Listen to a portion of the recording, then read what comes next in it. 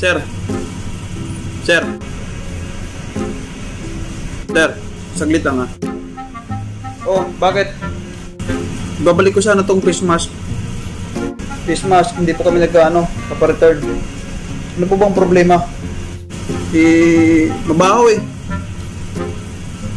Ilang minuto ko pa lang sinusuot, mabaho na. Ah, bumabaho? Eh, ito nga, 10 hours na to eh. Ganun pa rin naman yung amoy eh.